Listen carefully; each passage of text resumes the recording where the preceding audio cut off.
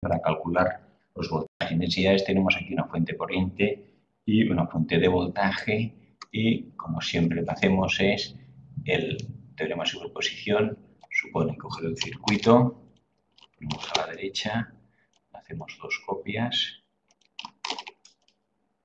El primero supone mantengo la fuente de voltaje y elimino la fuente de corriente, el segundo mantengo la fuente de corriente y cortocircuito la fuente de voltaje. Aquí tendríamos aquí, esto está cortado y en cambio aquí esto está cortocircuitado. Este será el A y el B. Pues para hallar el voltaje en este punto, voltaje A, aquí esto en el polo negativo y en la parte de donde contraria a la dirección de la corriente, aquí es lo fácil es tomar esto, tierra de referencia, 0 voltios. Entonces, como esto es 0 voltios, hallar el voltaje en el punto A.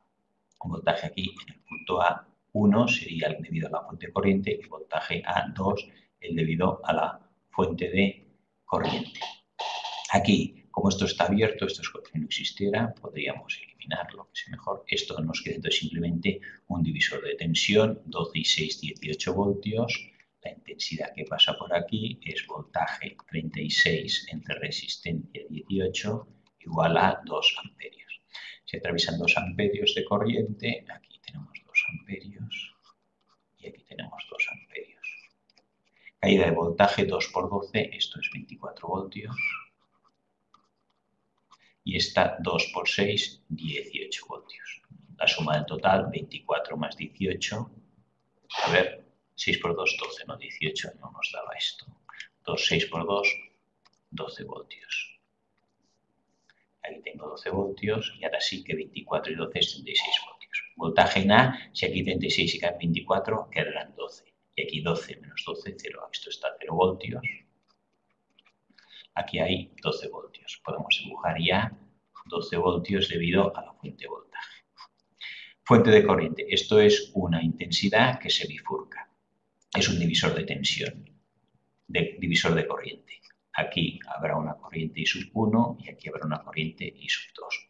¿Cuánto vale la corriente I sub 1? I sub 1 sabemos que es corriente total, que es 9 amperios, por resistencia del otro lado. La que viene por aquí es igual a la resistencia del otro lado, que es 6, entre la suma de las dos, que es 18. Y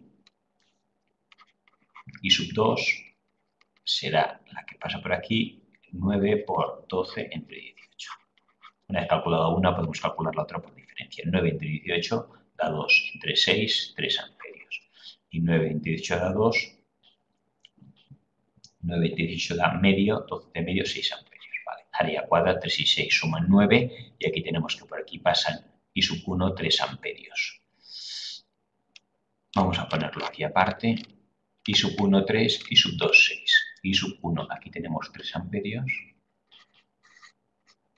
Y aquí 6 amperios. De entrada, el resultado es lógico. Por donde hay menos resistencia, pasa más intensidad de corriente. Por donde hay más resistencia, pasa menos. Caída de voltaje. 3 por 12 en este sentido, 3 por 12, y aquí lo estoy haciendo, aquí estamos calculando con esto cortocircuitado. Aquí no hay nada. 3 por 12, 36 voltios. Aquí caen 36 voltios. Y aquí estamos, hemos dicho que esto era el 0 referencia, 0 voltios. Y aquí 6 por 6, aquí también cae 36 voltios.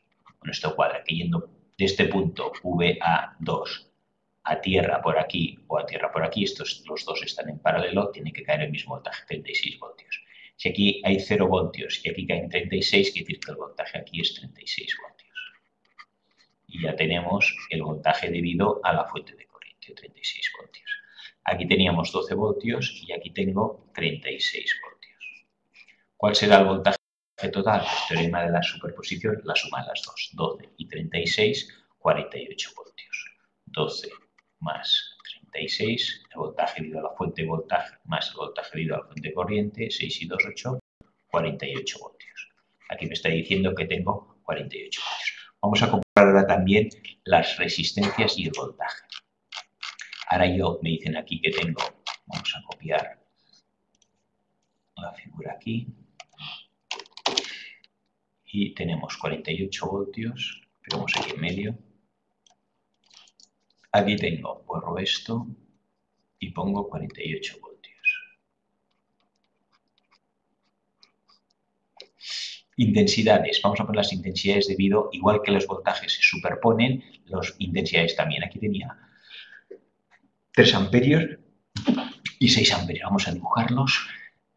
Eh, los haremos en color diferente para que se vea en verde 1 el fuente voltaje y en rojo, bueno, en rojo este 3 amperios. Aquí, allí. Y aquí teníamos 6 amperios hacia abajo. Intensidades debido a la fuente de voltaje. Esto de aquí eran 2 amperios en la de hacia allí, 2 y 2 aquí. O sea que ahora sumamos aquí, había 2 amperios hacia allí debido a la fuente de voltaje. Como ese fuente de voltaje la vamos a poner de color verde, 2 amperios hacia allí y aquí tengo 2 amperios hacia aquí. ¿Cuál será entonces la intensidad total? Pues volvemos a dibujar el circuito, a pegar el circuito y tengo ahora, borramos esto de aquí y ponemos ya los globales. Voltaje total global hemos dicho que era 48 voltios. 48 voltios. Intensidades totales, 2 hacia allí y 3 hacia allí, me queda una hacia la izquierda. Haremos el color, el global, haremos el color azul para distinguir, me queda un amperio en ese sentido. 2 hacia y 3 aquí. Y aquí tengo 6 y 2 en el mismo sentido, aquí me quedan 8 amperios. Vamos a ver si cuadra. Primero, 9 amperios se bifurca aquí, 8 aquí y 1 aquí. De entrada, cuadra a conservación de las corrientes de Kirchhoff. Y ahora los voltajes. 1 amperio por 12 ohmios, 1 por 12 caen 12 voltios. Aquí caen 12 voltios. Si tengo 48 menos 12 que caen, aquí me quedan 36 voltios. Cuadra con el voltaje que tengo aquí de la fuente de corriente. Aquí la fuente de corriente pasa de 0 a 36. En este sentido, aquí tengo 0 voltios, que es tierra o referencia. Aquí tengo 0 voltios y aquí tendré 0 voltios. Ahora tengo que probar que 8 por... Aquí tengo 48 voltios. 6 ohmios por 8 amperios, aquí caen 48 voltios. 6 por 8, 48.